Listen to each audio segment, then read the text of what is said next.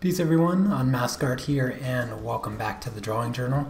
Uh, you might notice a few changes around my channel this week. Uh, I'm kind of uh, kind of grown tired of my, my old uh, thumbnails and I decided to change the, the screen setup. As you see, I'm down in the bottom left corner now uh, and I'm a little bit smaller and that way more of the drawing shows up um, I was kind of fiddling around with it over the weekend, and I thought it was time to like, you know, just just make some changes. So let me know what you think in the chat. Um, and today, uh, so this project here, this is I did in pastels over on Patreon, and um, it's like 95% done. Uh, there's a few spots here, and then I just want to touch up some of the details and stuff. Uh, but we did this project over on Patreon, so if you are interested in learning how I did this and uh, from the very beginning, uh, you know, go over to Patreon. Um, but uh, yeah, uh, I'm just going to be finishing off the details. I'm going to get started here, so I'm not wasting anybody's time, especially my own. And hello, Sneaks, Jeff Lunista. good to see you guys. Good morning, good afternoon, good evening. Um, very, very happy to see you guys. Um, for those of you that have already followed this tutorial over on Patreon, um, I had mentioned that I was going to do this today on the Drawing Journal, and I said I was going to add a couple colors. Um, I'm adding three. I'm adding three new colors. Uh, they are Caran d'Ache pastel pencils, so they're a bit more expensive. But the three colors that I'm adding, uh, 631, 083, and 350. So now you know, that's all I'm adding. Um, other than that, all the colors that I'd used over on the tutorial are the same. Um, hello Donnie, um, pumpkin spice, oh my goodness. Uh, I, I, I know, I want to say Leslie. Am I right? Is it Leslie? Pumpkin spice? Uh, I told you I'm bad with names. Um, hey Co, good to see you. All right, let's, uh, let's see, which, which pencil am I going to grab here? Uh, I think I'm going to start with some light gray. Kind of got my pencils all up in the way. I gotta get out of the, I gotta get out of the, um, the mindset that this is somehow a tutorial. This is not a tutorial, but if you guys have questions, um, if you guys have questions, I'm more than happy to, uh, to answer them. Uh, related to this project or, or, any other questions. You guys know me. Um, I never get enough questions. Uh, this past Friday, I did do a uh, fun little uh, like question questionnaire thing um, in the colored pencil and beyond for beginners uh, Facebook page. I didn't actually think about linking it in the description. I should have um, but you should be able to find it rather easily on Facebook. Uh, it's pretty pretty large color pencil group, um, and they wanted to do like a ask the artist kind of series, and I did that Friday. Answered a whole bunch of really great questions, uh, some about pastels, and and then uh, a lot about colored pencils also. So that should be over in that Facebook group if you get a chance. Um, awesome. Okay, Leslie, I got it right. Um, hello.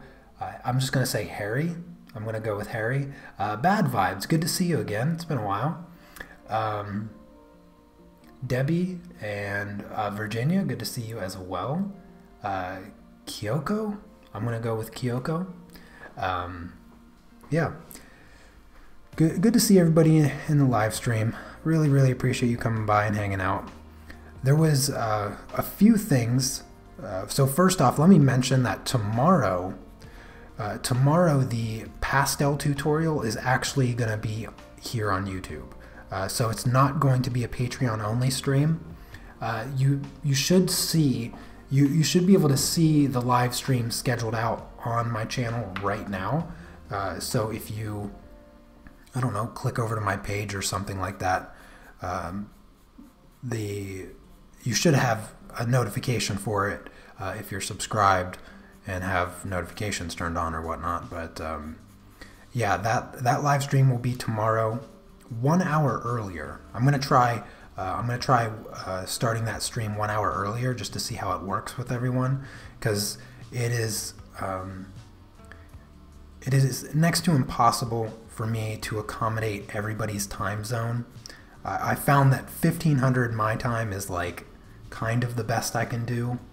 Uh, it prevents me from having to work in the evenings and um, yeah, just it, I think it accommodates the most people that I can. So hopefully you agree with that sentiment.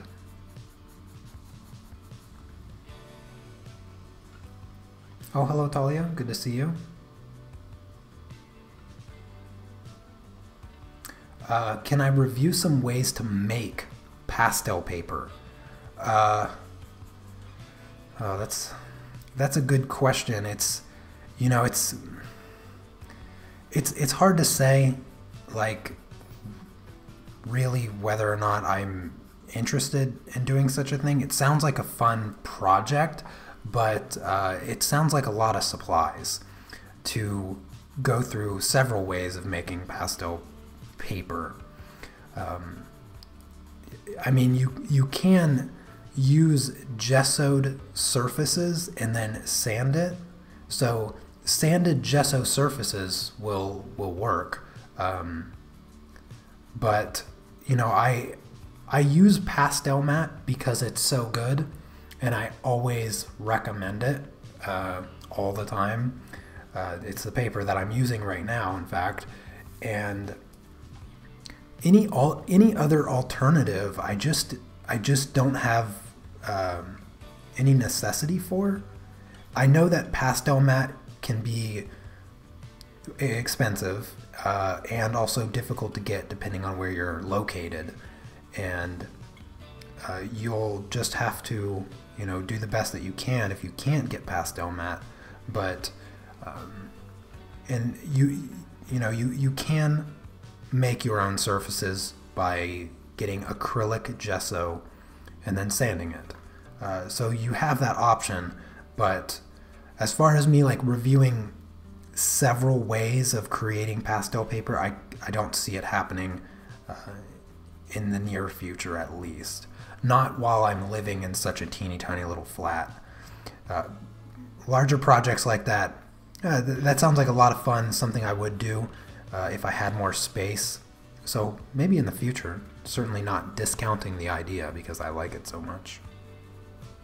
Hope you can understand that.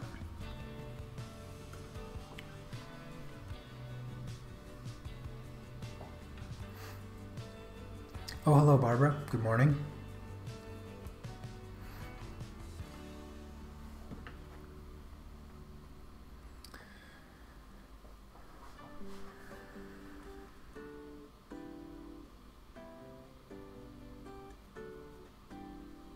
Oh goodness, I these these Caran d'Ache pastel pencils, they are just magical on the paper. They just feel they have such a unique feel to them.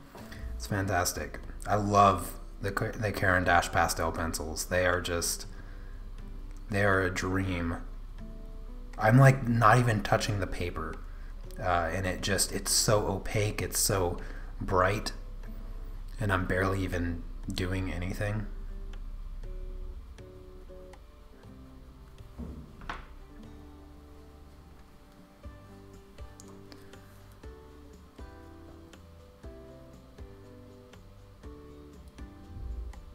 Oh, that's awesome, uh, Lindy. I'm glad to, glad to hear that. Hello, Shiny. Good to see you as well.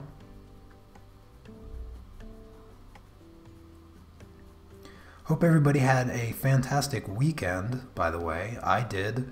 Um, my weekend was a lot of fun. Um, my my wife and I, as I mentioned before, we we've been going through all of the Marvel movies. Um, we we both really enjoyed the uh, the last year's movie Infinity War, and um, Endgame is coming out in a few months or whatnot, and so to to prepare for that, we have been going through all of the Marvel movies, and last night we finished watching Ant Man and then Civil War.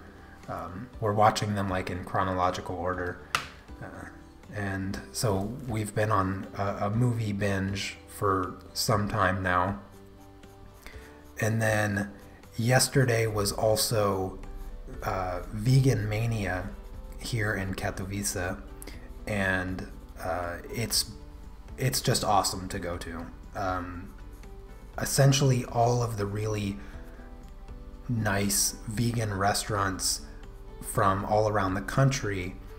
They they travel from like major city to major city like every couple months and they just rent out like a huge um, space and set up and, and make food and sell clothes and all kinds of other vegan friendly like makeups and um, accessories and all of that stuff. And uh, so yesterday we went to that and had a ton of awesome food. Uh, we had these things, um, piroshki, uh, which are kind of like, uh, it's kind of like a an Amish fry pie, but it's not the flaky like pie crust, the sweet crust. It's like a normal, almost like a miniature um, calzone uh, but they have all kinds of different stuff in it. We had one that was like like peas and carrots and some other other veggies or something like that. It was really it was really good. Uh, and then we had one that was apple, and it was that one was more like a dessert. Um, really really uh, flavorful and, and, tasty. And then um, what else did we have? Oh, there's this one vegan burrito place, um, and I don't know what their deal was. They they took forever to make their burritos. I don't know why it would take so long to make burritos, but um, they were really, really slow. But they were good. They weren't like mind blowing or anything, but they were good. And then uh, what else did we have? Had some some tasty vegan ice cream, uh, which is uh, kind of difficult to get uh, on normal occasions. Uh, there's this one place that makes really tasty ice creams in town, but it's only on like Tuesdays and Fridays or something.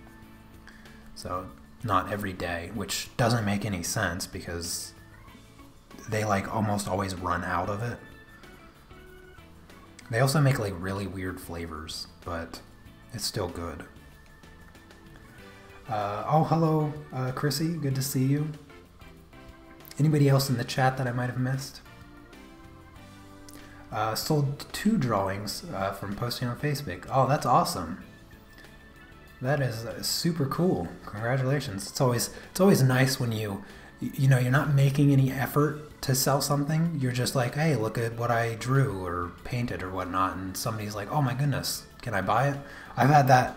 I've had that happen a number of times. Uh, not not so much recently, um, but uh, yeah, it's always a good feeling you know, when somebody appreciates your work so much that they're willing to to buy it from you, it's always a, a really great feeling. So I'm glad that uh, I'm glad that you had that happen.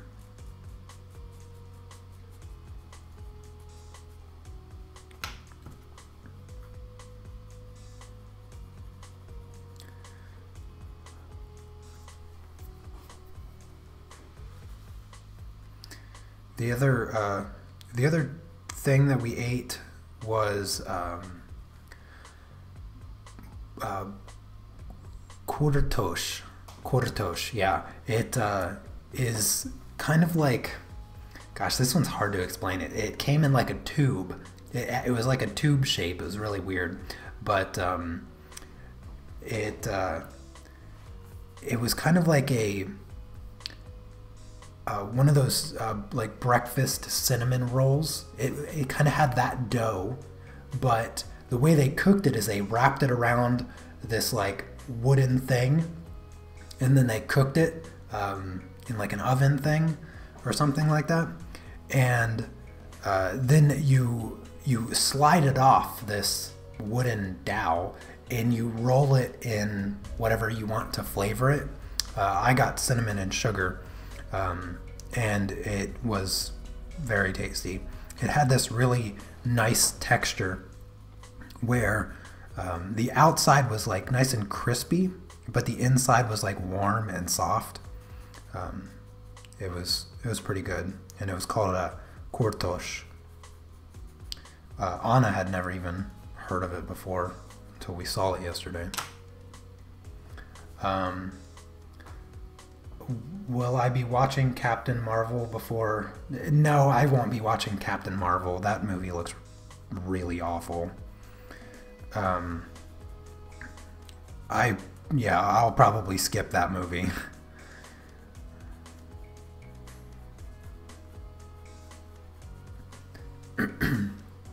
I'm not a I'm not a fan of of Hollywood uh, uh, putting out uh, putting out movies of Mary Sue's. I'm just uh, it, it, Star Wars kind of like broke the mold on that, and it just they they made it just sorry yeah that's that's about as much of my opinion as you'll get on that. Um, am I going to put some of my work on my on my website to buy? Uh, not not currently, not right now. There's there's some changes ahead that I need to get to, um, and I've I've been very slow at getting to. Uh, one of the changes that some of you might you know um, might not like to hear uh, is that on on Patreon uh, I'll be dropping uh, the I'll be dropping the collector tier, which is the 15 $15 month tier, uh, and you get um, you get for, uh, prints. So I send you prints every other month, uh, and I always I always overextend the prints because I know that shipping takes like a million years. So instead of sending two prints, uh, like the uh, the thing says, I always end up selling uh, sending like anywhere between like five and ten. Um, and there's I think there's only like five or six people signed up for that tier, and it's just not beneficial dealing with um, getting the prints, packaging the prints, and then sending them out. Uh, it's just the overhead and the profit isn't really lining up all that all that much. Uh, so uh, I have to drop that, and then um, I have a student tier that um, may not last the rest of this year. I may end up dropping the student tier as well, um, even though it's been sold out literally since I set it up. Uh, and that is the the private art lessons. I'm probably only going to be doing that for till the end of summer or so. Uh, I haven't quite haven't quite decided when, but um, it's it's most likely not going to last the the rest of this year. Of course, this is actually the first time I've mentioned that, but um, if it if it does last, it will have to increase in price. Uh, it, it's been sold out for like two straight years. I only take on four students at a time. Uh, any more than that, I just don't think I'd be able to handle. As much as I'd like to, I, I can. I, am thinking of a, a, better way to accommodate private lessons in, in some manner. Um, there's Discord that I was thinking about. Uh, I, I don't I don't know how to use Discord yet, but I know it it's a way to communicate um, kind of like Google Hangout or something like that. I don't know. There's changes. Changes are on the horizon. Let's just say that. Um,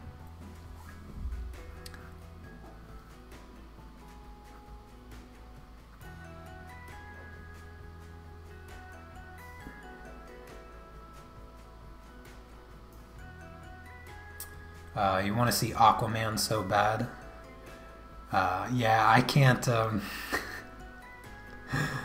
I can't get on the DC train. Uh, every single one of their movies has been bad, uh, except for The Dark Knight. Uh, oh, thank you, uh, Manu, Ella. Thank you very much. I appreciate that.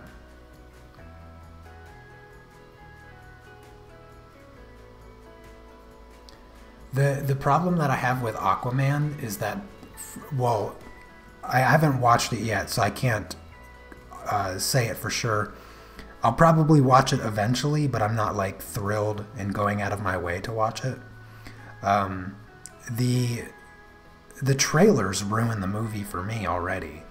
Uh, well, I'm saying that, you know, you know, just let me backtrack a little bit. It hasn't ruined the movie it makes me severely uninterested in watching it.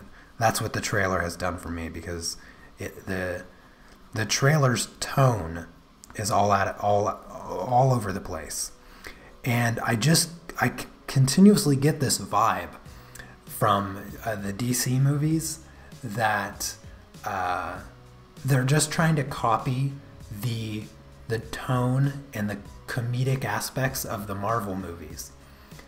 Uh, and it's it's just it's cringy. It's to the point where it's cringy. And in the trailer, there's like these parts that are meant to be comical and funny, but they just, to me, they just end up feeling forced and, well, cringy.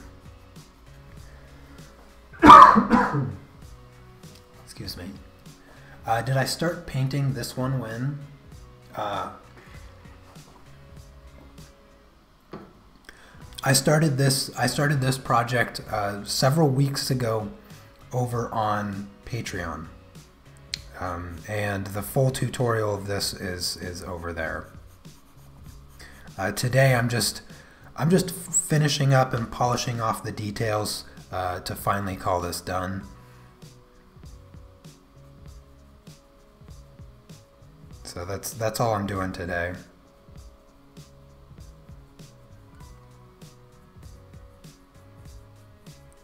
I still have like quite a bit to do on it as far as the details go and I'm just taking my time. I have no uh, I have no reason to rush or anything like that. Um, but I do want to finish it on today's stream. That that is the goal. So I have to try to focus uh, a little bit. uh, try to focus a little bit on it uh, while I'm chatting with you guys.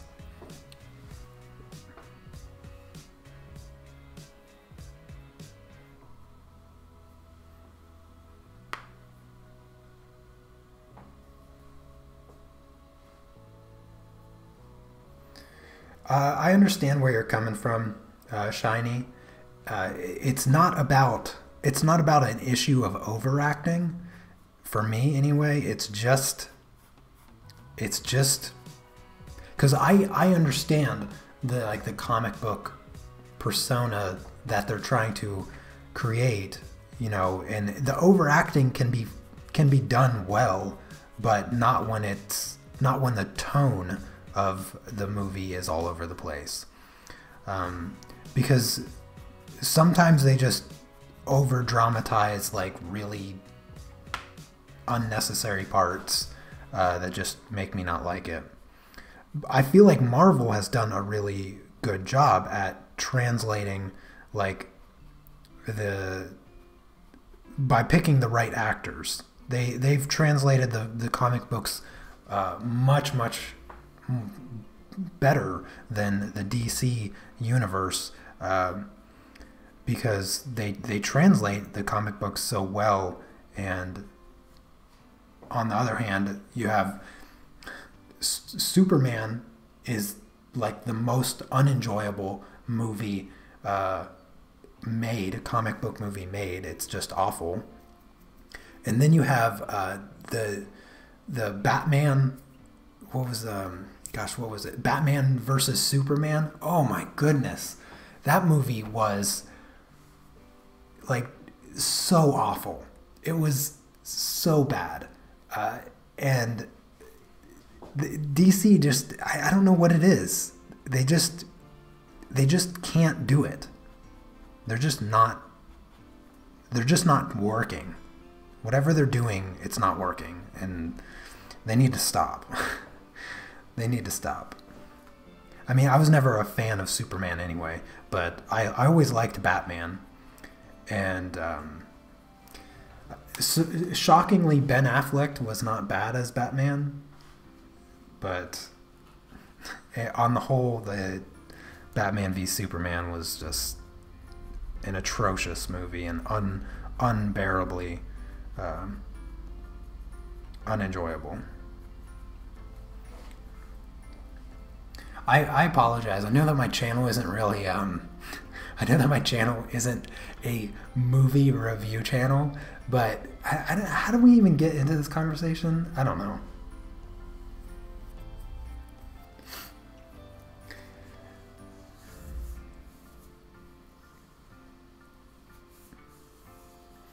I like drama a lot better too, Shiny. I, I'm a drama guy. I like drama. Um, that's that's where that's the kind of movies I like. Ben Affleck as Batman, meh. But Ben Affleck in Gone Girl, that was a good movie. I like that kind of drama.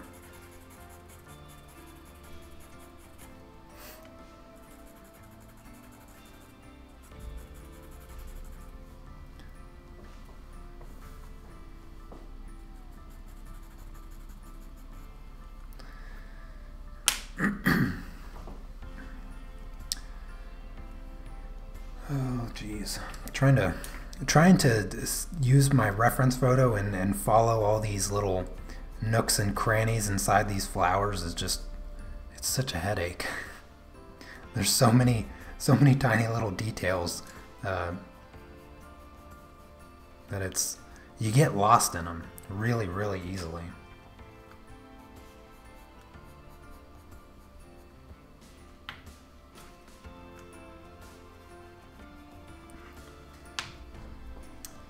Yeah, we we definitely talk about everything, Christy. That is 100% uh, true. Yeah, definitely. Uh, you like when I go on about movies and TV shows? yeah, I well, I am a huge fan of action movies, but not from the U.S. Um, the U.S. still doesn't know how to make action movies. If you want to watch like good action movies, you have to go to China it's just or or Thai Thai action movies are really really great too, but uh, for me, um, if it's if it comes out of uh, Thailand or um, uh, China, it's it's like it's it's a, probably a much better action movie. Not a guarantee, but much more likely than the U.S. Because I mean, look at look at all of Jackie Chan's movies. I mean, that guy knows how to do action plus comedy, which is probably the most difficult thing to do. Um, uh, there are several options on Amazon. Which Jakar sharpener do I have? I have the electric one. Yeah, I have the Jakar electric sharpener with the auto stop, and um, it has been it has been awesome. Uh, recently went to watch Alita. Do not spoil that movie for me. No Alita Battle Angel spoilers in the chat. I will ban you from my channel. Not literally, but seriously, I I'm super excited to watch Alita. It just looks so good in the movie theater or in the uh, trailers. I haven't seen it. It comes out it comes out this week in Poland, um, and we'll probably watch it next Wednesday. So, do not spoil it. I am glad to hear that it's it's really good though.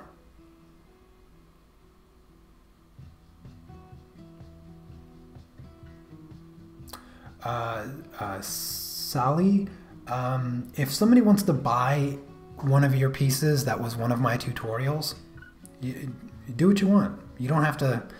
I, I'm. I, I don't need the credit. I, I don't. You're you're free to sell it. Do whatever you want with it. Um, I, if you follow a tutorial and somebody wants to buy it, then then you probably followed the tutorial really well. uh, is there a sharpener that you would recommend specifically for pastels? Yes, Iris, you must have missed the uh, pastel pencil tutorial or the pastel pencil review. Uh, the the Jakar eraser or the Jakar electric pencil sharpener is just fantastic. Uh, that's how I got all these lovely points on these pencils. Um, unfortunately, I, I, I, these don't fit. The Caran d'Ache pencils do not fit. They're too big. Uh, they're unnecessarily big, and it's kind of a drawback to the pencil, but as you can see, I have no problem sharpening them because they're so well built. Um, I forget what I'm doing. You guys are distracting me.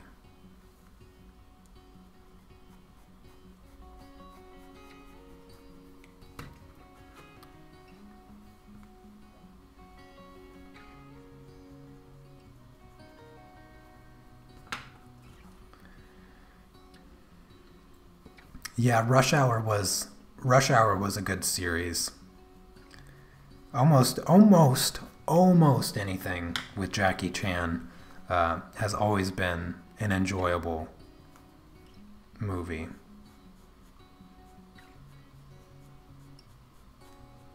That is, that is a fact.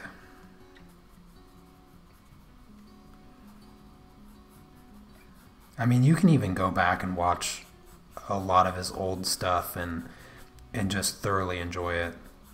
Uh, Jet Li was another good one. Um, he made he made some really good ones that had a really uh, really great story. I liked his historical ones, the ones that always took place in in the past, and um, I, I always enjoyed those movies.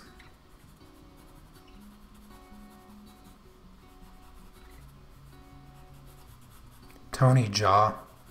I really like his movies too. He's not Chinese, um, but The Protector. That's one of my favorite movies. I need to. I need to just watch watch some. I haven't seen. I haven't seen a good kung, kung fu movie in a long time. Every every uh, few months or so, I try to find a, a good one.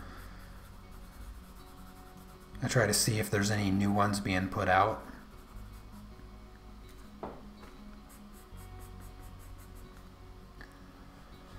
Uh, did I miss that tutorial? Forgive me.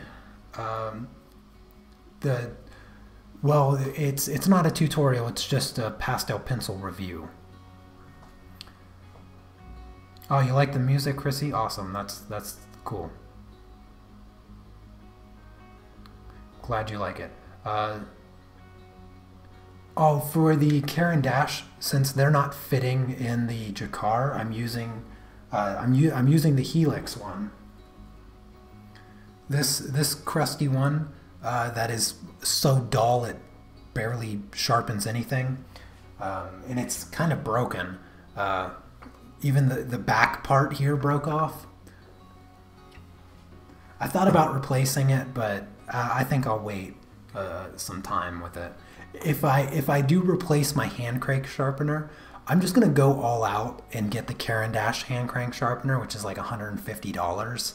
Um, so I'll I'll probably get that in the future, because um, I, I can I can trust Caran d'Ache with like anything they put out. So they they do have a, a hand crank sharpener that um, hopefully uh,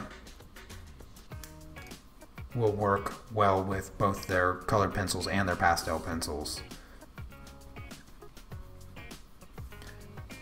I'll have to check and make sure that their pastel pencils fit.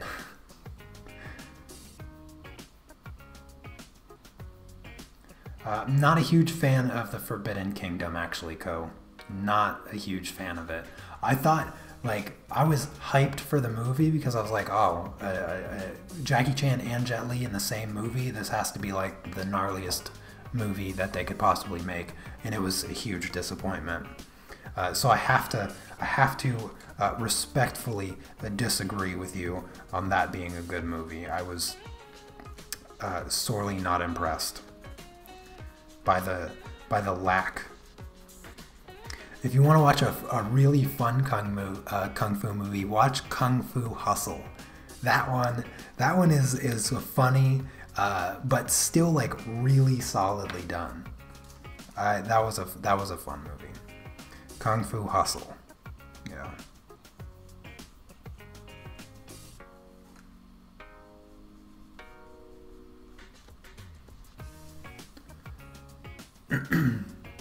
Uh, yes, uh, Lady Marigold, I did. I did come across that review.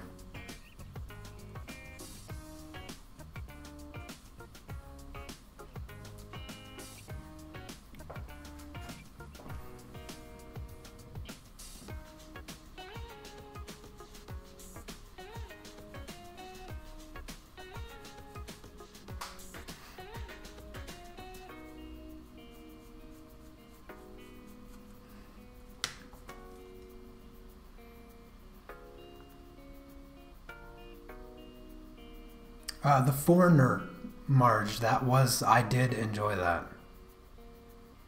I did enjoy that. It was nice to see Jackie Chan uh, back in action, and um, it was a, it was a really solid storyline and a lot of fun to watch.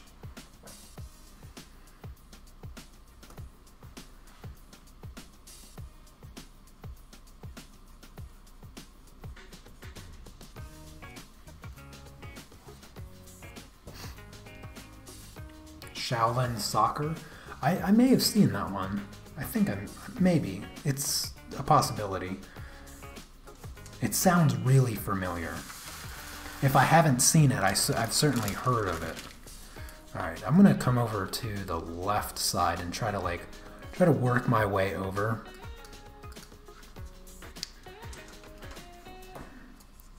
Let's start with yeah, let's start with this leaf here. I don't quite have. Um, I don't quite have it the way that I want. So I'm just going to start on this leaf. I need like a dark green.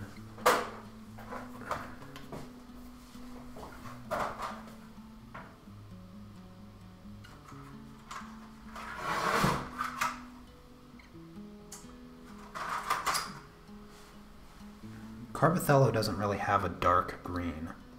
Maybe if I just use a little bit of black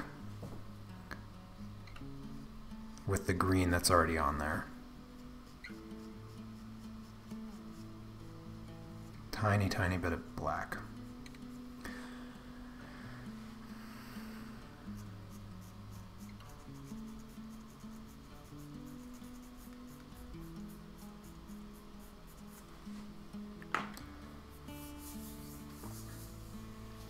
Um, I don't think so, Co.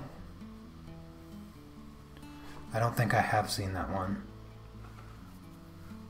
Uh, if you if you want to watch something that is, if if you're a fan of Jackie Chan, uh, Jet Li, Bruce Lee, and Tony Jaa, if you're a fan of those masters, then you have to watch the Thai movie Chocolate. Okay, it's it's a girl that plays the the person that fights the protagonist. Couldn't think of the name. Um, and in in the movie, she has she has like um, I guess autism. I guess it would be uh, described. She has autism in the movie, and she doesn't speak. And all she does is she eats M and M's and watches uh, kung fu movies, right? And she, uh, her mom, her mom gets sick.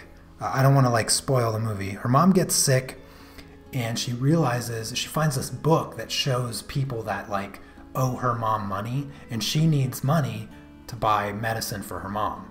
So she goes and she collects the money that these people owe her. Well, they're all very unwilling to, to pay her. So she fights them. Uh, and in each fight scene, she mimics a different master. There's a fight scene where she mimics Bruce Lee, uh, Jackie Chan, uh, Jet Li, uh, and Tony Jaa. And then there's one fight scene where she like creates her own style, and it's it is phenomenal. It is phenomenal. It's called Chocolate. It's a Thai kung fu movie. Of course, I I guess martial arts movie is a better description than kung fu movie, but everybody uses kung fu movie, so. Uh, I've been watching my videos for a week now. Uh, you have inspired me to start drawing again. Oh well, that's awesome, Rick. That's good. That's good to hear. You are you are very welcome for the inspiration. Thank you for the kind words. I, I appreciate that a lot.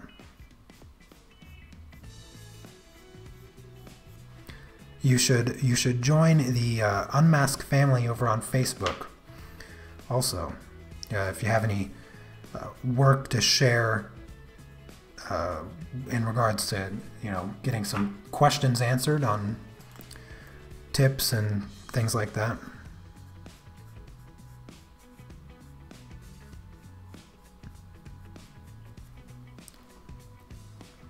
Um, you're gonna buy the uh, the Caran d'Ache uh, pastel pencils.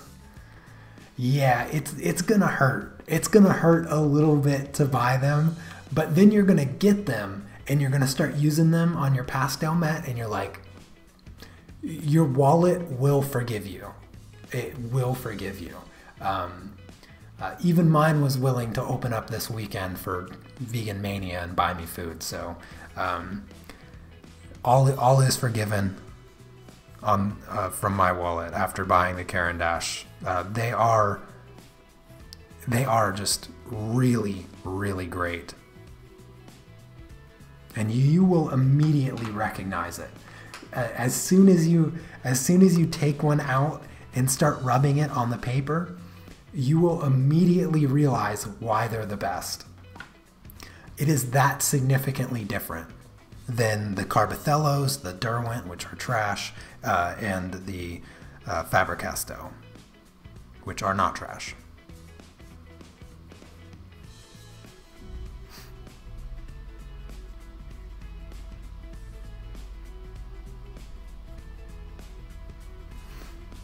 I mean, I am a big fan of the Carbothellos, uh, but the, the Caran d'Ache, my goodness, they are amazing. They are such a treat to use.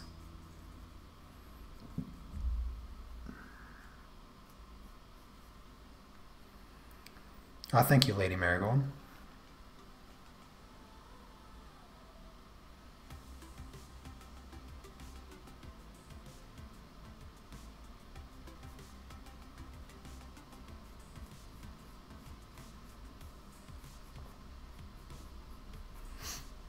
Yeah, I uh, I was talking to my wife yesterday about uh, the like the cost of art supplies and stuff, and uh, I told her I was like, "Do you know how much money I spent in January on on markers, uh, pastel pencils, and paper?"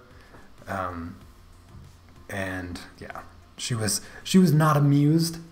Uh, I'll just put it that way. She was not amused with the uh, the total. Uh, now I, I get away with it because I'm, I'm making more money now, but she was still not very pleased with the amount. But since I don't really spend money on anything other than uh, groceries and art supplies, eh, kind of makes my life a little bit easier when it comes to buying art supplies because it's like I buy two things: food or uh, food or art supplies, and we've got plenty of food.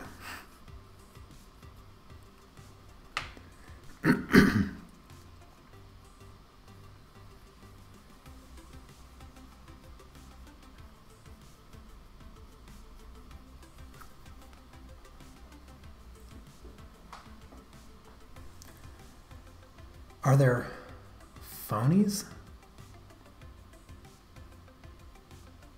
Oh, the name of the flowers. Um, I have absolutely no idea. Let's let's go with that. Is it? It's not phony. That's peon, pe, peony. I don't, I don't. I've never heard of that flower before. I have no idea what these flowers are.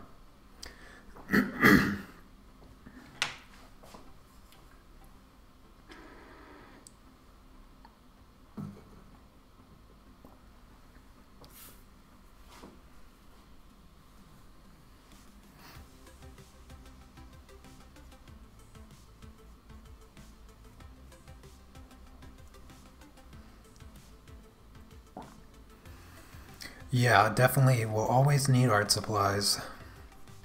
I I already need to buy more.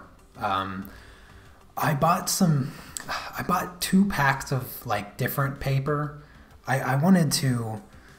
I wanted to try out some different papers because uh, I can't find the paper that I normally buy, which is a little depressing. Um, Jackson's is completely out of it, and they've been out of it for like three months now, and I I am completely out of it. Uh, it's very very annoying, but uh, I decided to uh, just take a little bit of risk and, and try something new. And the one paper that I tried last week on the drawing journal with uh, my wife with the markers, supposedly it's the best paper to use with Copic markers. Um, and I, I disagree. I disagree. I mean, when you lay the markers down, you have to wait like a half hour for them to dry before the color even shows up the way that it's supposed to show up. And um, and it, is, it doesn't blend any better than the Strathmore Bristol plate paper, which is my favorite. So I just have to disagree completely with uh, with the blog that I read saying that it was the best paper because um, it wasn't significantly better in any way. In fact, it was worse than than the paper that I generally would would use. So, yeah.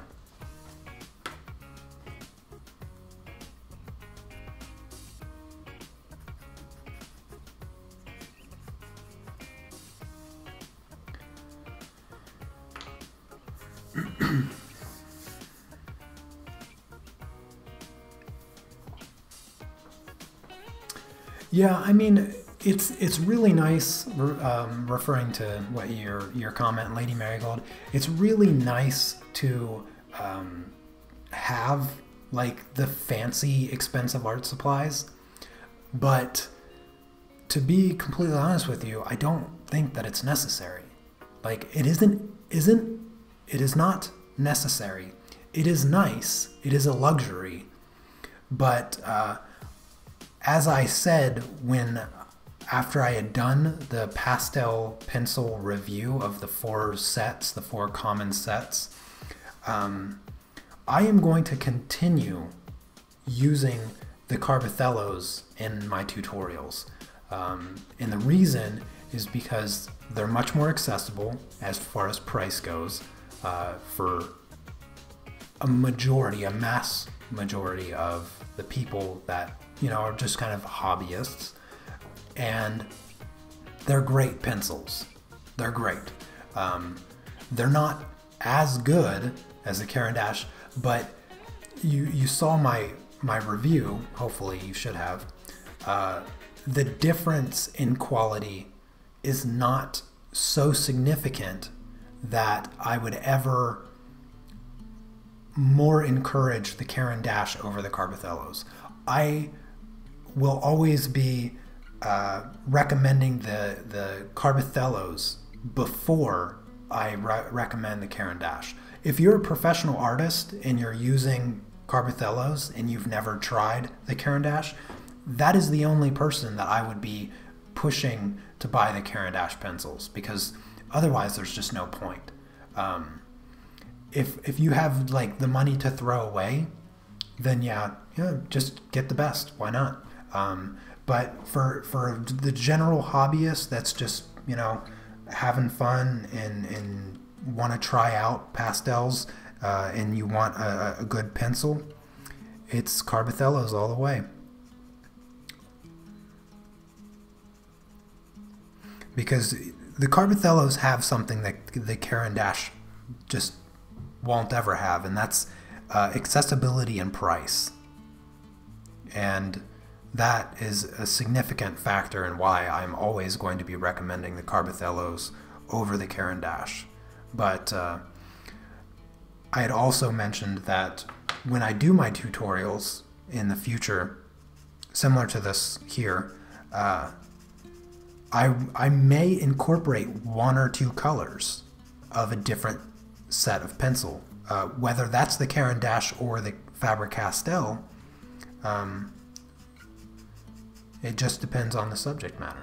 Because the the Caran d'Ache they have they have just an amazing, amazing uh, color range in the in the full set.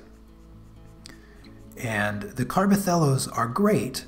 You can certainly do whatever you need to do with the Carbothellos. There's there's no extra colors that I feel are necessary to own um, with the Carbothellos uh, to do everything from portraits to uh, still life and landscapes but uh, your life can be made easier by incorporating one or two other colors from a, a different set, in particular the Faber-Castell set.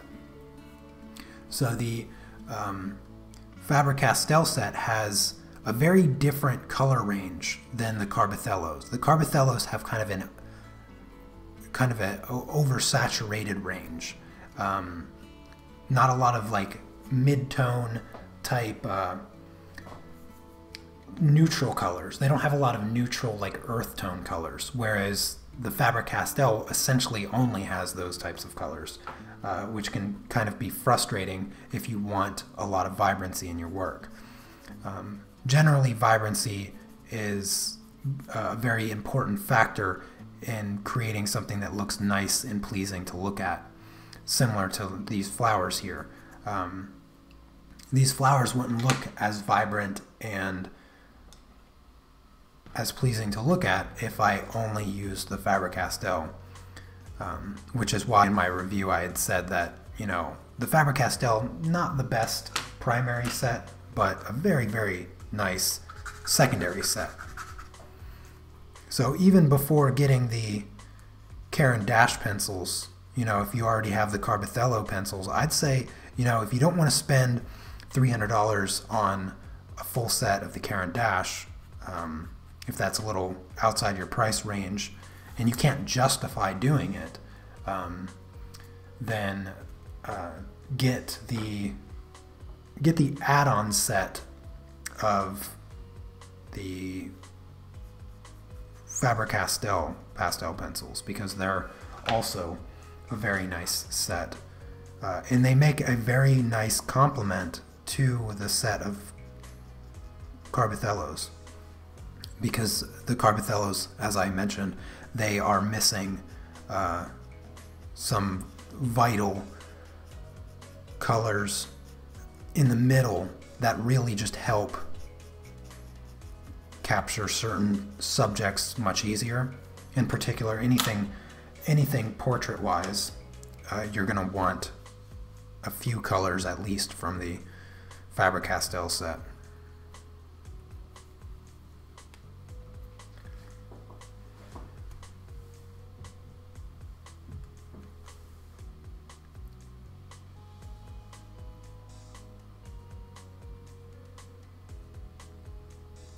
Uh, no, my my Caran d'Ache set is not the 20 plus 20. It's the 84 set, the 84 wooden case set of pastel pencils. It does not come with any of the sticks. There's no pastel sticks.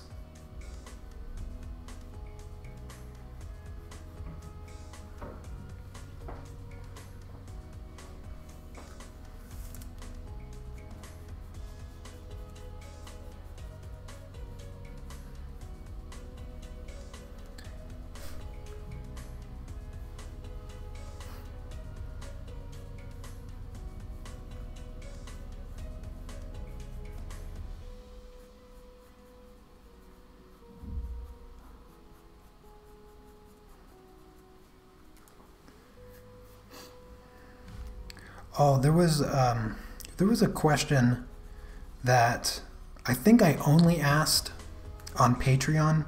Sometimes, sometimes it's hard for me to remember um, because I always get into uh, wonderful conversations over on Patreon as well.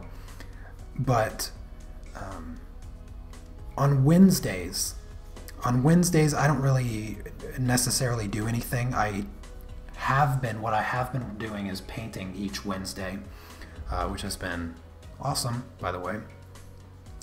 Um, but there's there's some days where I'm not streaming on either Patreon or YouTube, like Friday, for instance.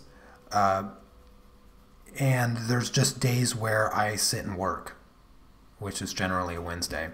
Uh, I won't stream on Wednesday because that's when Chrissy streams, but uh, maybe in the morning I could stream before Chrissy streams, uh, and then be done by the time she streams.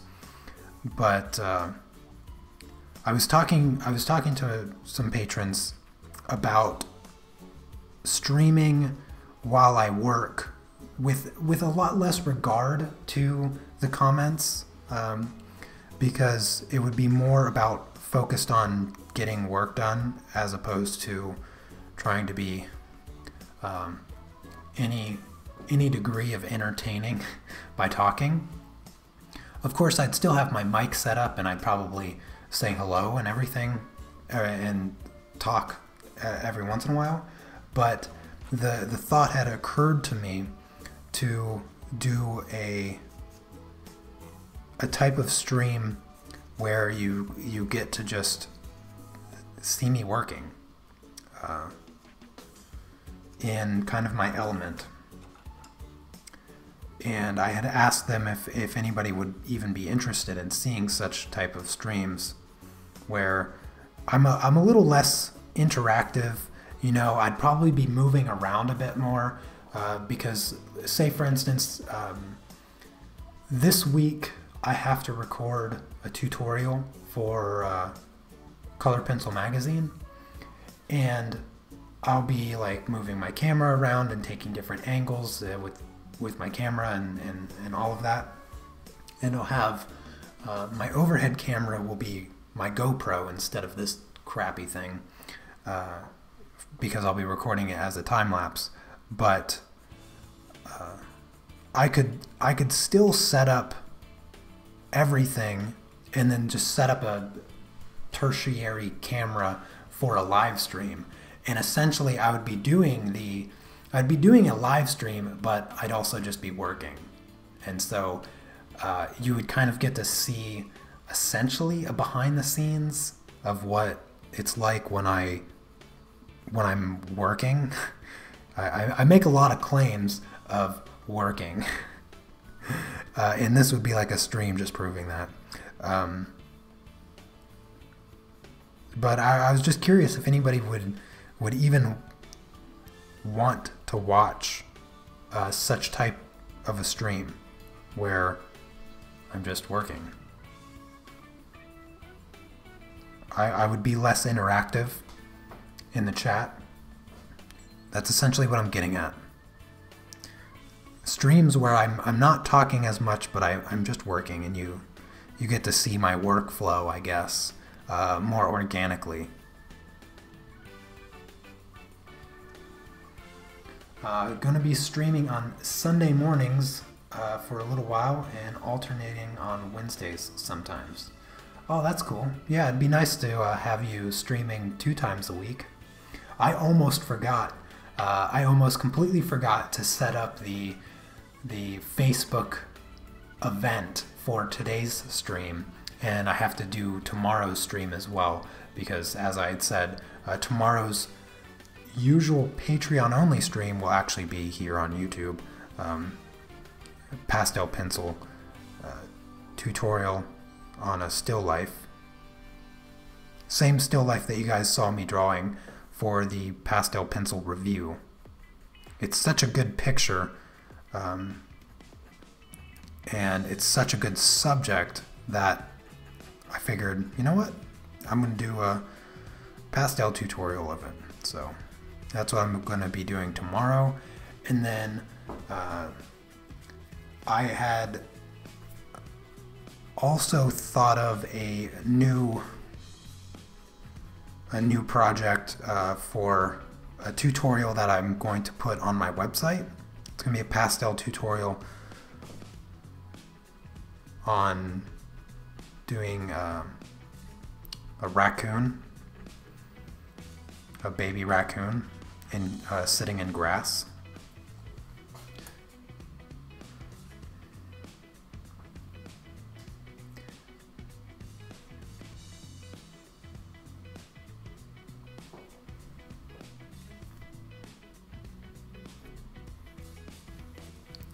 Yeah, I was thinking of trying some new times as well, Chrissy, with my with my streams. Um, I came across this this streamer randomly on YouTube.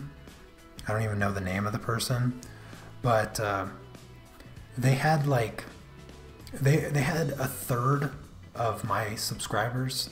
They only had like nineteen thousand or something, but they were live streaming and they had like quadruple the amount of people watching. And I was like, huh. I was like, I, I wonder what uh, I wonder what I could do to to solve that that problem. Um, uh, because I, I tuned into the stream to just you know see what uh, see what the structure of it was and how she was doing it or what whatnot, uh, and it was you know, was, there was nothing special about it. She just had one overhead camera, no no uh, webcam like I have for the face, and she was just coloring a coloring book. Uh, perhaps it was the subject matter, so maybe the the adult coloring book uh, scene is just a bit more popular than I don't know whatever the heck I do. um, but I had never I, I have yet to break a hundred uh, viewers on a single stream. So I was just uh, I was intrigued by the significant difference uh, in both our amount of subscribers because I have so many more than she had. Yet her streams are much more active than mine, and I was just uh, interested in potentially fixing that problem fixing that discrepancy and so I'm always thinking of ways to make my streams a bit more interactive, a bit more fun, uh, more enjoyable for all of you. So if you guys have, if you guys ever have input on my streams, you know, what might make it, uh, what you think might make it better, uh, I am all ears all the time. I value I value your guys' opinion on the matter, so you guys are the one watching. It's always fun for me because either way, uh, whether you guys are chatting it up with me or not, uh, I'm sitting here drawing, doing what I love to do, so. Um, Mondays are perfect Okay, yeah. I well Mondays are perfect for me too because it's Monday and I have nothing better to do with my life. I like I like doing the Monday streams.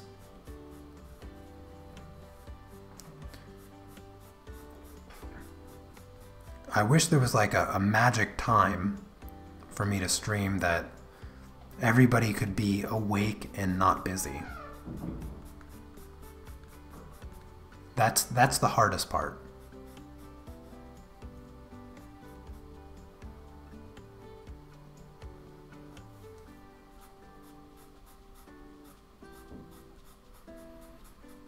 Because I'm I'm always getting comments of people that say, "Oh man, I missed the stream" and all of that.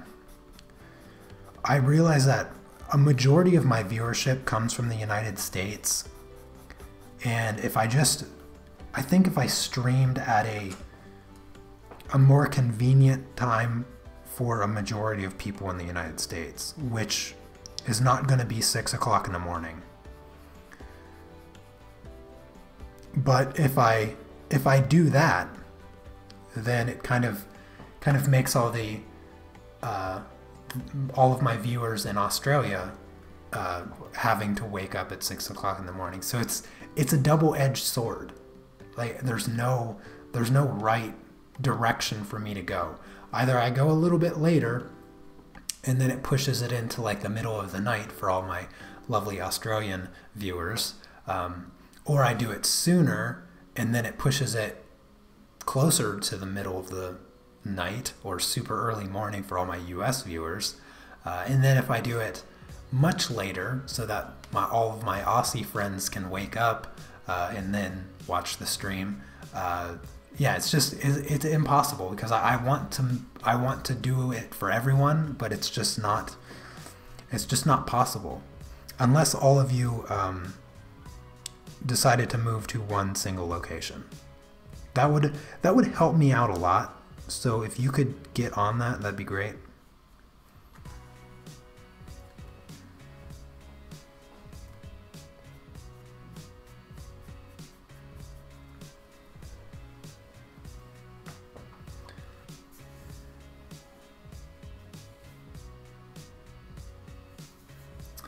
Oh, that's really interesting uh, that you were notified after the the live stream was finished.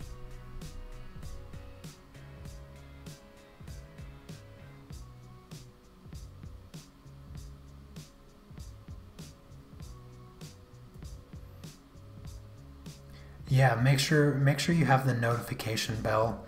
Um, uh, apparently, that ha- is relevant. It, it, it's so it's so obnoxious. YouTube YouTube just overcomplicates things for no reason. It, I, I, for the life of me, it, it baffles me what the point of um, having a subscribe button and then also having to have a notification button. It's, I, I feel like YouTube, what YouTube should do is that if you subscribe to a channel, you should automatically be notified. And if you don't want to be notified of what that channel does when it does it, then it should have the option to turn it off. It shouldn't be the other way around. It shouldn't be that, oh, I like this channel. I want to, you know, see the uh, future videos of this channel, so I'm going to subscribe to it. But instead of getting, you know, notified of the new videos and live streams and all of that, you get nothing unless you then click this this bell icon. Uh, it's it's extremely frustrating, and I think it's very very dumb. It should just be turned on automatically, and then if you want it turned off for a specific channel, then then it, then you have the option of turning it off.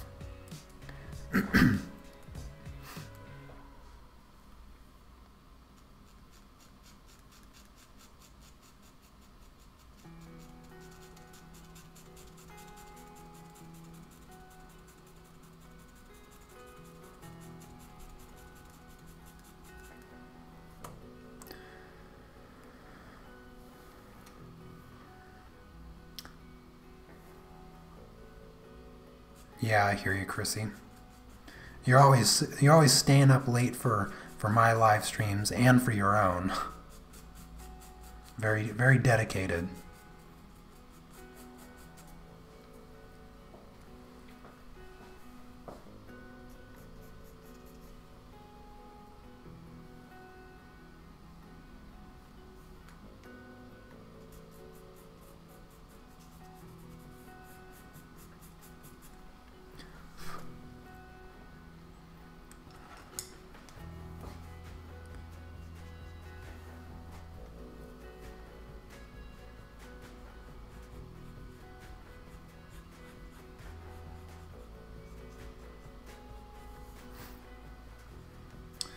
Yeah, I imagine you're probably going to be heading heading to bed here soon, Chrissy.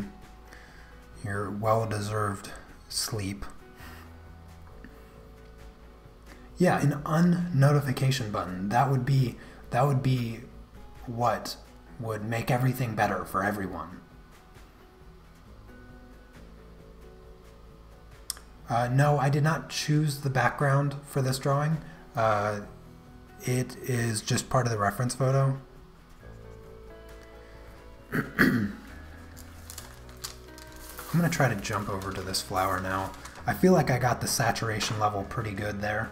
Um, so I'm going to jump back over to the right side and uh, bring in some more lovely pinks and uh, just boost the overall saturation of this these flowers now.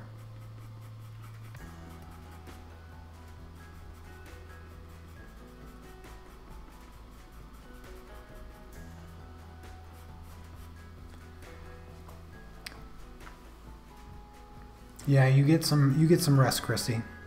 I'll I'll see you probably tomorrow for for the pastel live stream.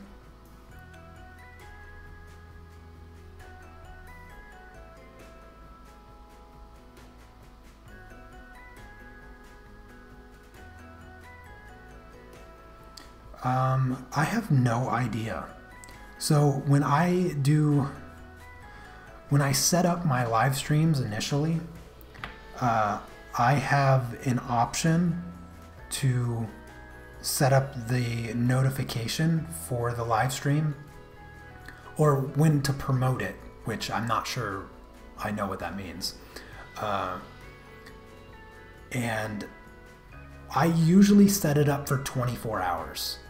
I have the option of doing 24 hours, two days, you know, one week, I think. Uh, and then I have one for 12 hours also. And I've kind of played around with all of it, but it, I don't know what it does. I have no idea what it does. Um, what I assume, what I what I have assumed that it does, is it displays it on my channel when I say to promote it. So if you go into your subscriptions, there will be a, like that video will show up either 12 hours before I go live, a day before I go live, whatnot. Uh, you guys can check your subscriptions on right now and see if uh, tomorrow's live stream pops up in your subscri- subscription feed. But I don't know. Like I said, YouTube has made everything way more complicated than it needs to be. Uh, and it's just, it's beyond frustrating because I can never figure it out. Nobody can ever figure it out. And people have been complaining about it uh, for like two years now. Because it's like, oh, I'm not getting notified. Why are, why are my subscribers not being notified? And then, of course, YouTube tweets out some, some garbage nonsense. Oh, we're, we're looking into it. We're trying to fix it. They YouTube hasn't fixed anything in like like forever. They just keep making it worse for everyone. It makes it it makes it really hard to um, to to grow on YouTube when they keep fiddling around with all this stuff and they never pay any attention to small creators anyway. So we're we're always just being left left uh, to fend for ourselves uh, with the, the endless competition of garbage that constantly pops up.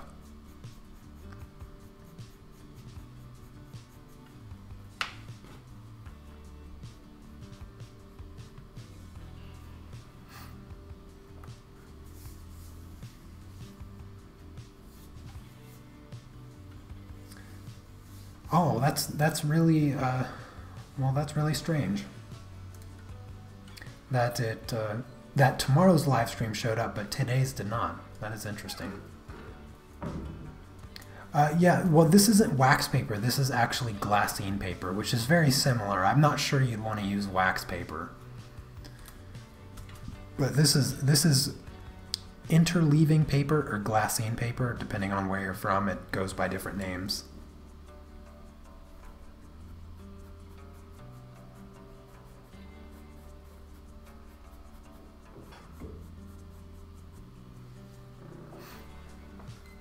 Uh, would I suggest hand exercises or stretches to combat hand fatigue? Um, not really, uh, because the most important thing is going to be the the grip that you have on the pencil plus the amount of pressure you're applying to your to the surface. Um,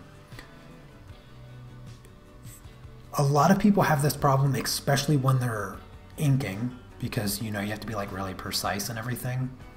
Uh, but the looser your grip is on your pencil, the, the more relaxed your hand is capable of being. So you never you never want to like be death gripping your pencil like real tightly just because you're like oh i need to get this detail just right i need to like hold it super still and be no that you're it it's it doesn't help you. For one it doesn't help. And two it, it makes your hand hurt like and get tired really fast.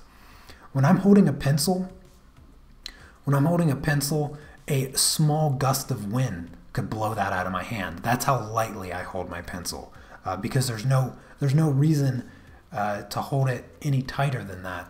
You know, you just need to hold it still, and it weighs like a gram, so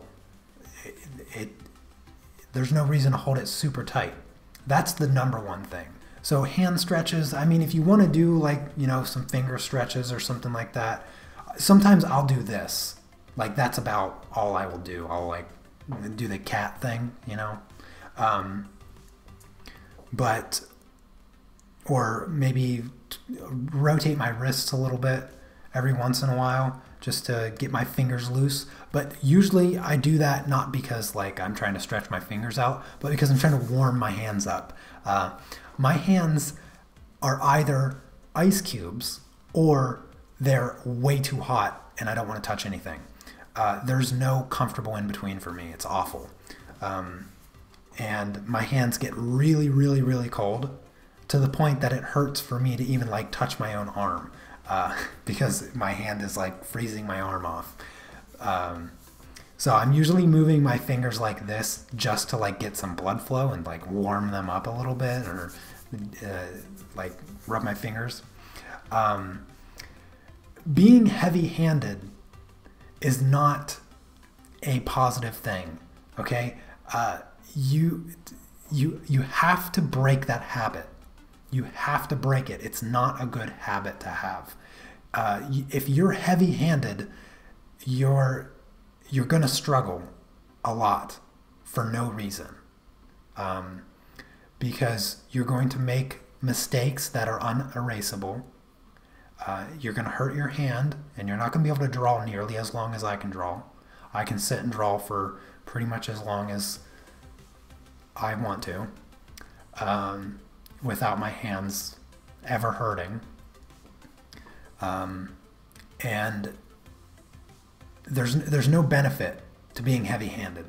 The, being being light to the touch is a necessity because if you're always heavy-handed, you don't have control. Okay? I can take this dark color and I am so light-handed that I could literally brush this across any part of this drawing and be able to correct it. Uh, and I can slowly, teeny tiny little bit, like gradually increase the saturation of any color over top of another color. And that's the benefit of being light to the touch. Uh, you have to practice being light to the touch. It's not something that just, it's not something that generally comes natural to anybody that writes.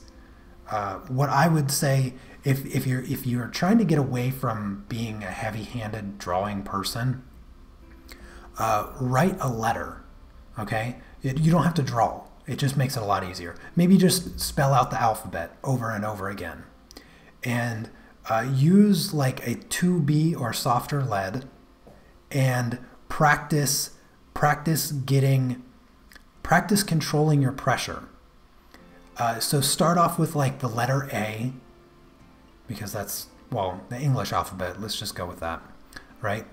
Uh, practice writing each letter slightly lighter than the next.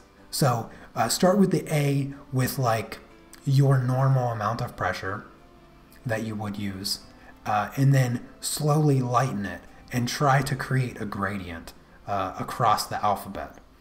Uh, or you can just write out the whole alphabet and try to get lighter with each line, however you want to do it.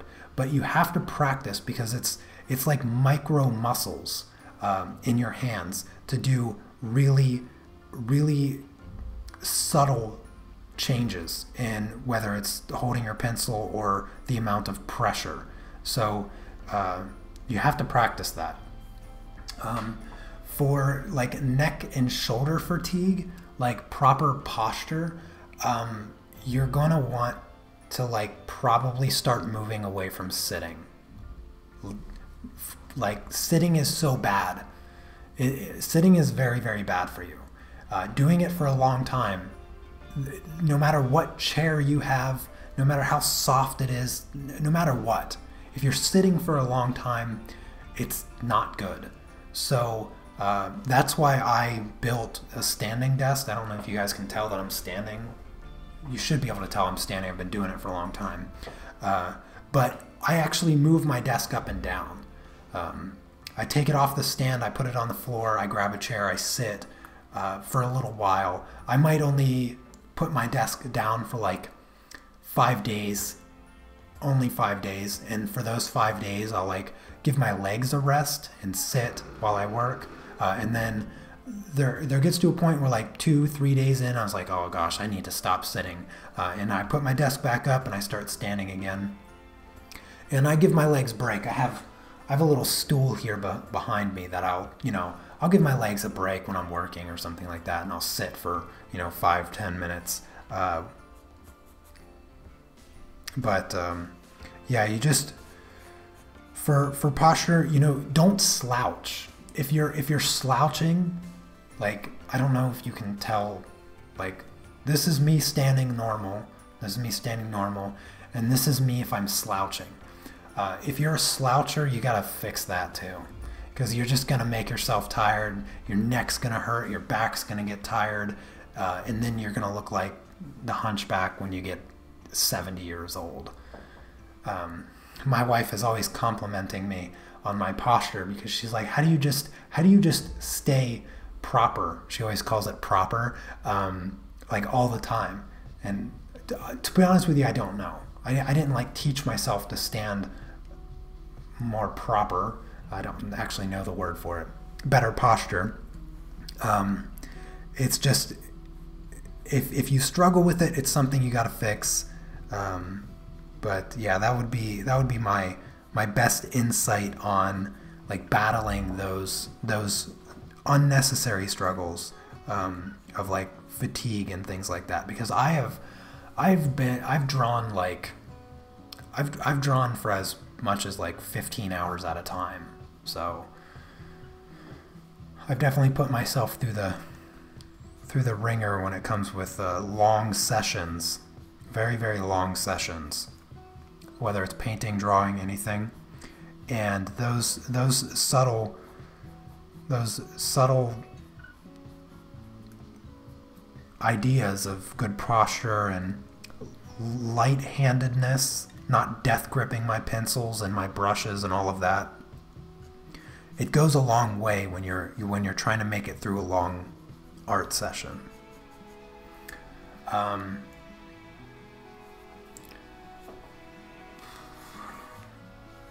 okay, Co, you have a good night. Thank you for coming by.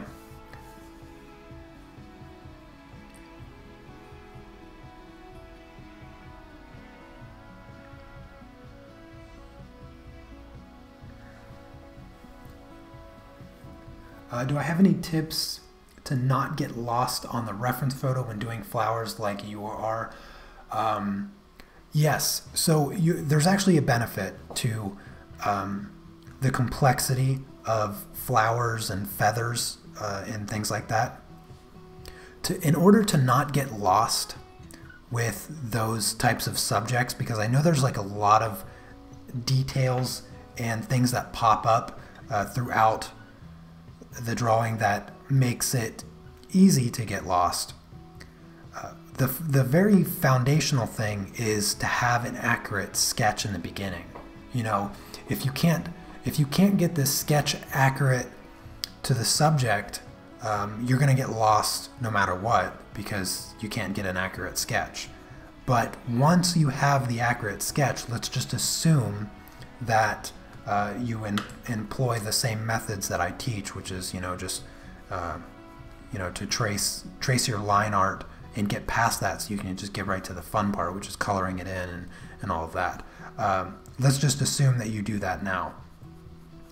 Well, if your line art is accurate, uh, if you're dealing with feathers or in this case flowers, treat it like a puzzle. If you if you this flower petal is very easy for me to look down at my page, see it, look at my reference photo, and see it. It's a big, giant petal. It's it's, it's hard to miss. Um, and so I will only work on this petal. I, I'm I'm now only working on this petal, but um, just get this petal filled in and done uh, to you know to a high degree. I'd say like get it like 80 90% complete, um, and then find the next big petal and work on that one. Uh, and uh, if you treat it like a puzzle and you do one piece at a time, you know, uh, get your edges done, get your big pieces done, and then only once you have those parts filled in would I say go go through and start um, adding in the the middle the middle pieces, the smaller details, uh, and you'll find that it's much easier to keep track of where you're at in the reference photo. Um, and it also makes it makes the piece overall much more digestible uh, and less overwhelming. I've mentioned it a few times. You know, sometimes sometimes it gets overwhelming if you try to do an entire piece all at once. I know a lot of people like that strategy where you you kind of fill in the base layer of everything. Um, but if you don't have the right personality for it, then you can it makes things feel overwhelming and uh, it kind of puts your drawing in this this really big ugly stage whereas if you have line art on one side and you have like a nearly complete picture in one area, uh, you feel like, yeah, you might feel like there's still like a million miles to go on it, but you, uh, you, you probably feel more satisfied with it in the moment. Whereas if you do like a base layer on everything, and you enter that ugly stage, that inevitable ugly stage, because everything has that, um, then you might just feel like it looks like crap and you don't want to continue and you'll lose motivation. So you just have to find what's right for you. And for me, I like to I like to treat it like a puzzle and kind of do a section at a time. For this particular piece, I did the background all at once until it was like done. And then I did the uh, flower pot until it was done. And then I, I just peeled it off and started doing the flowers. And and just like I said I, I treated the flowers like they were a puzzle. I just did one petal at a time. And this is something that I went over in the actual tutorial over on Patreon. Just kind of treat the flowers like a puzzle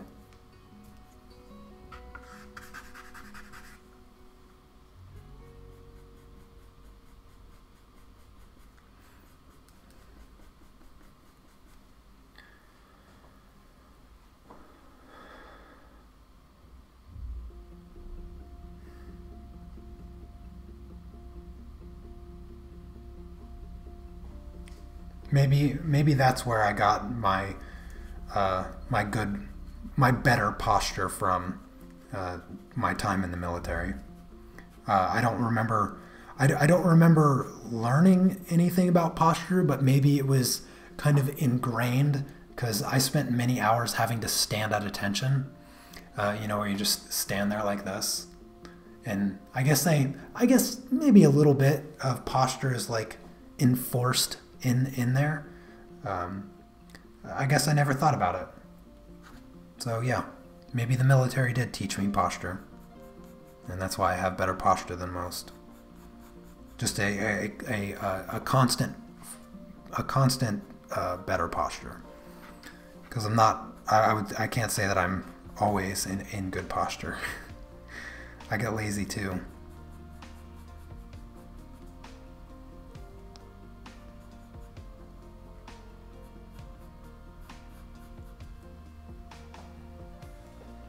Oh, hey, Wendy, good to see you. Good morning to you.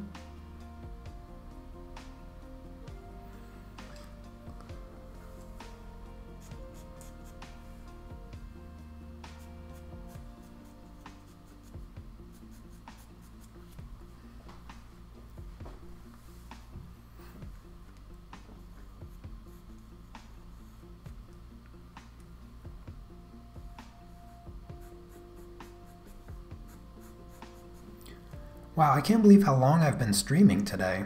I completely lost track of time. I, I really thought that I'd be done with this a lot sooner. That, uh,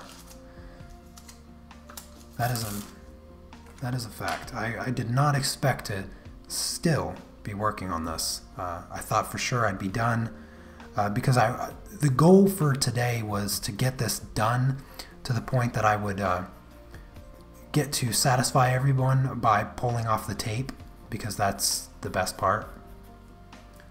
So I will get there. It's just taking me a little bit longer than I anticipated. I have to darken these flower petals over here, but once I do that, um, I should be in good shape to have this complete.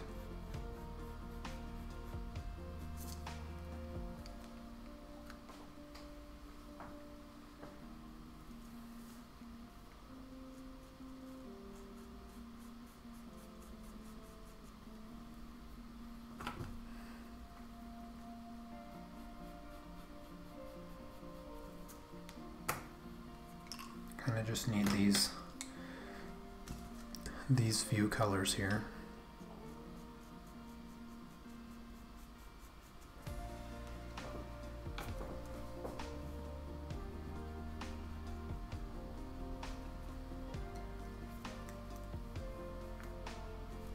Let's start with the darker color.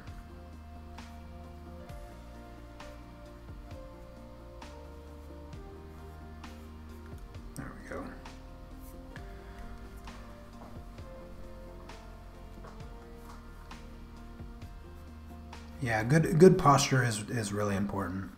I mean, aside from just staying comfortable, uh, good posture also helps you think clearly and stay focused. Bad posture makes you tired.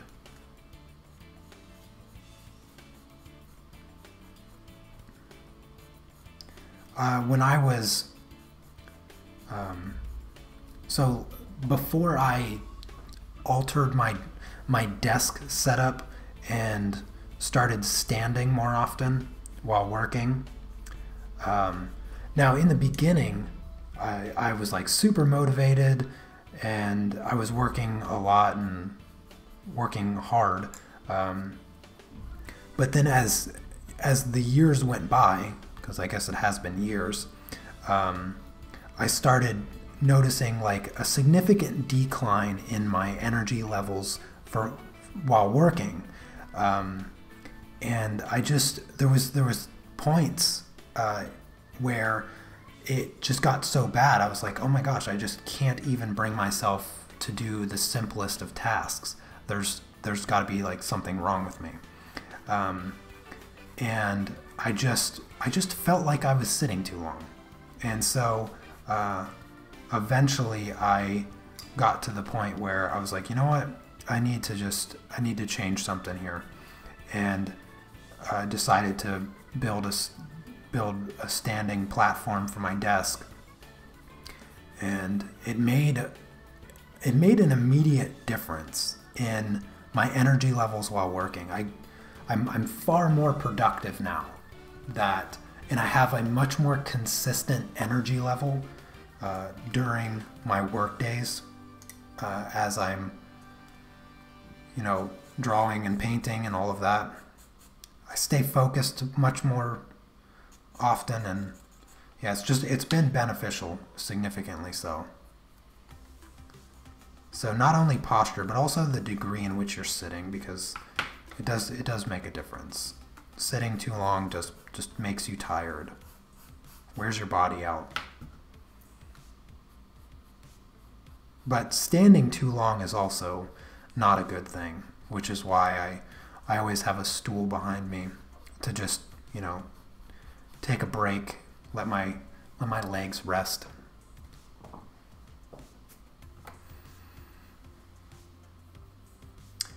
Yeah, I have um, uh, I have a I have cervical spine thing um, also, and uh, from the military. Um, I, I have I, am technically a disabled vet. Um, only 20% disabled though, and uh, so the the the neck problems, the back problems, kind of thing that I have that as well, uh, which is kind of unfortunate considering I, I, I don't feel like I'm I'm old enough to have such issues, um, but I do, and I have to deal with uh, headaches a lot because that's what that's the problem that I have. It causes it causes debilitating headaches, and so um, it's just one more thing that I have to be conscious of. And uh, standing up, not sitting as long, uh, helps.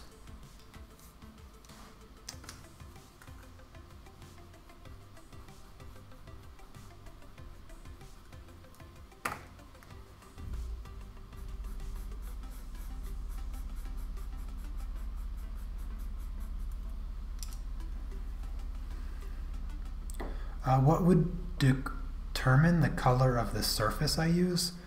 Uh, not a lot. For the most part, I don't use colored surfaces, but if I'm oil painting, if I'm painting, then don't work on white. Um, I like to change up the color of the surface uh, because you get different effects. If you're not covering the surface completely, then it makes sense to use a colored surface. Uh, if in in the case of this drawing here, uh, I've covered the surface completely, 100%, and so um, you wouldn't even know what the actual color of this paper is um, if I used gray, if I used like dark blue or whatever, um, the difference is not all that significant. Um, on darker paper, your colors will inevitably be of a darker value. So if you're doing an image that is very dark, then to your benefit, you can use a darker surface. So it's it's it's very subjective. It's very subjective. Um, just like my perspective on paper choice in general, paper is something that is completely subjective. Uh, you use what you find most enjoyable. That's that's what I always say. You know, find what works best for your style and what you want it to look like. Um, and so, when it comes to the color of the surface, that's that's no different. That is no different. Um, really, only with uh, painting would I just urge you to put thought into the color of your surface. But when it comes to pastels, uh, the difference is the difference is a little minimal. Uh, only in the case that you're covering the entire surface. If you're not covering the entire surface, then find a color that complements the, the work. Find a, find a color that complements the colors that you're going to be applying. That's, that's going to be what's uh, more important there.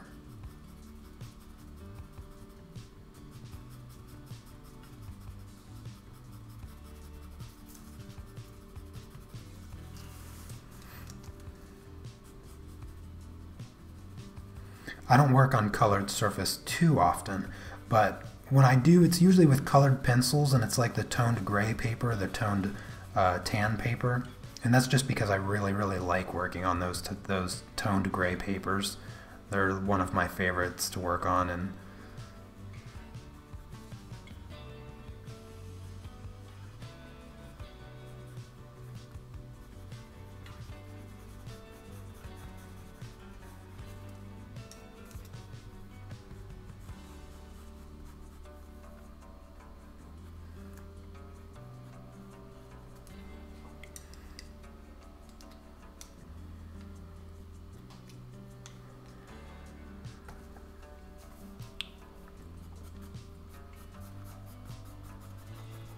I am almost almost done filling filling more of this in. Get a little bit more of this purple. Do some last bit of blending. I could I could literally finesse these details, polish these details for an endless amount of time, uh, but it's getting to the point where I want to call this done And there's only one way to do that. And that is to just call it done. Eventually I have to quit.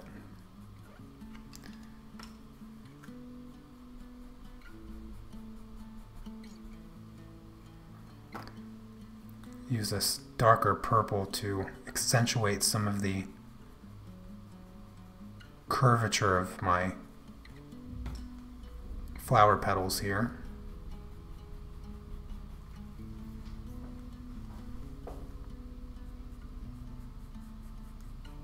Add a little bit of that, that kind of silky texture to it.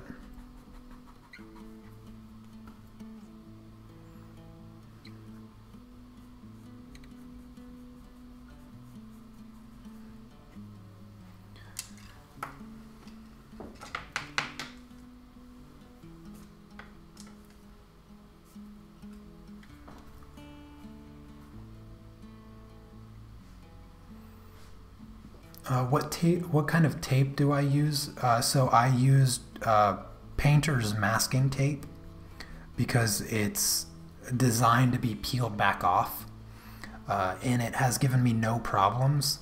Uh, as long as you're not keeping the tape on there for like a, a really, really long time, um, it won't. It, it shouldn't damage your paper or alter the colors in any way. Um, so, yeah, that's one thing. Uh, if you're painting, however, um, green frog tape. Uh, it's kind of expensive, but if you're if you're painting, then I would use that tape. That's that's my favorite tape.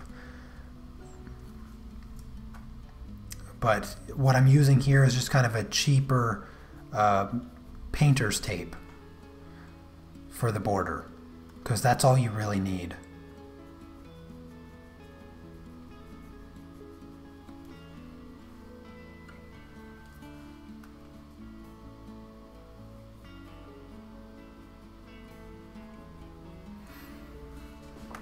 All right, let's do, I think a, a little bit of texture over on these flower petals now. Just darken up some of those some of those curvatures.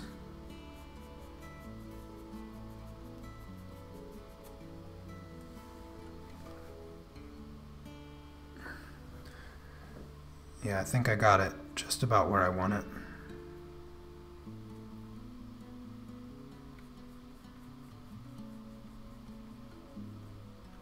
I'm just going to fill in a bunch of this and then uh, blend it all out at once.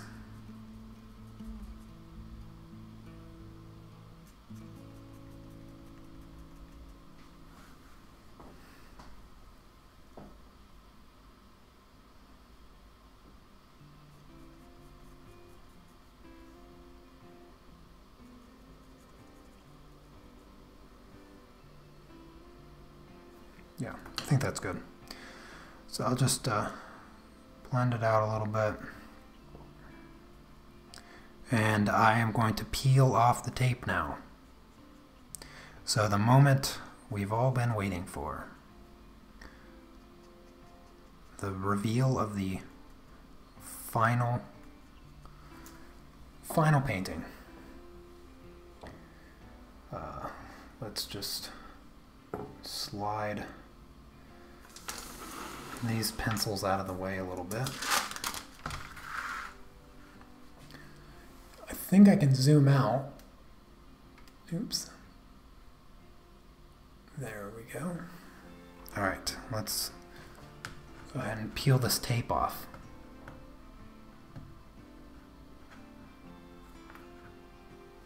Oh my goodness. I'm, I'm glad you're paying attention, Wendy. Goodness gracious. Of course, what about this petal on the the table? It's it's down here all by its lonesome. I completely forgot about it.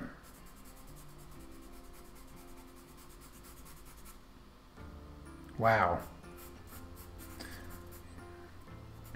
That was actually just a test. That was just a test to see if anybody was paying attention. Good good for you, Wendy. You you win. Wendy wins, everybody else loses.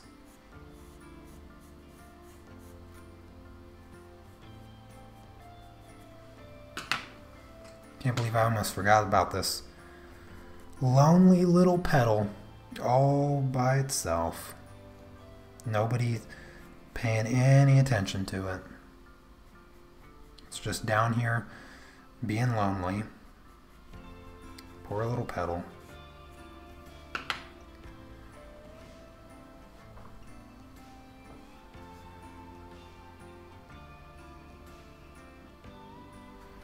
Yeah, yeah.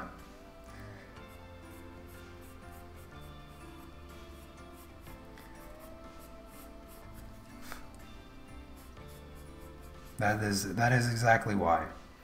It was it was meant to be. Now in the reference, this petal doesn't have any color, but I'm going to add just a little bit of pink to it so that it's not so boring. Uh, where's my blender?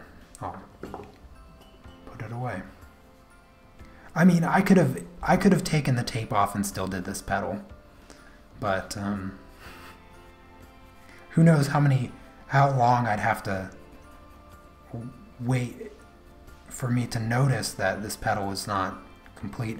What I'd probably end up doing, no joke, what I'd probably end up doing, peeling the tape off, calling it done, stopping the live stream, getting on with my life, taking a picture of it so that I could post the final thing.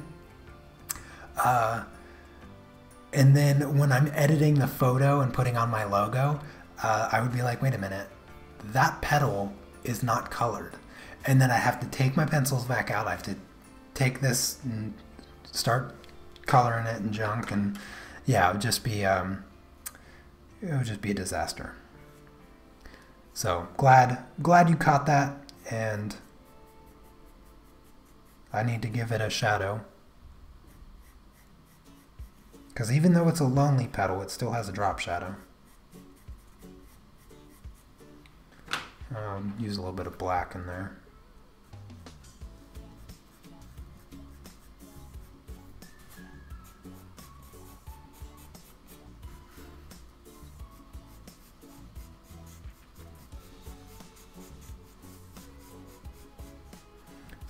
There we go.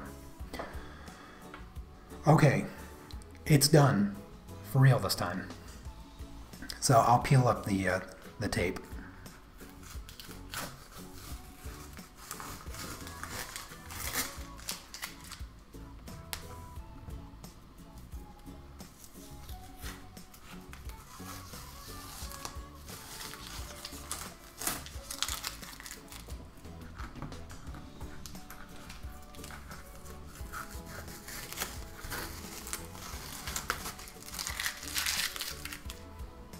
For the record, this masking this uh, masking tape has been on here for like a month because it's how long I've been working on this.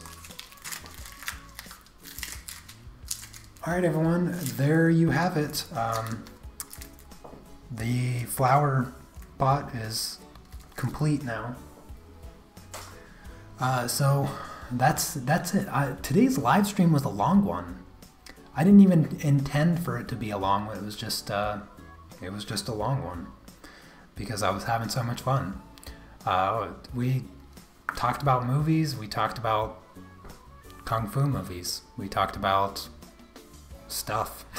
I don't even remember. It's it's been such a long stream. I don't even remember what we talked about. But uh, I hope that you guys had some fun. Hope you enjoyed today's stream uh, as much as I did. I appreciate the questions. I appreciate you guys coming and hanging out with me.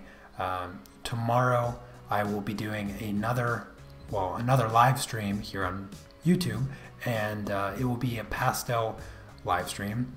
Uh, if you click over on that live stream, uh, there is a link in the description that has the reference photo and the traceable line art for the tutorial. So if you have the, I'll be using only the Carbothello pencils for tomorrow's live streams. So if you have, uh, if you have the set of Carbothellos and you want to follow along during the live stream, uh, just get the get uh, your paper ready. I'll be using Pastelmat as always, and I will have the line art already laid down. Or maybe I shouldn't. No, you know what? I won't. I won't have the line art laid down. I will do it on the live stream so you can see how I do it. Uh, it's very easy, and I've showed it several times, but why not show it again? Um, but it gives you a chance to follow along, and I look forward to it. So, uh, you guys have a fantastic rest of your day. I'll see you tomorrow. Uh, take care. Peace.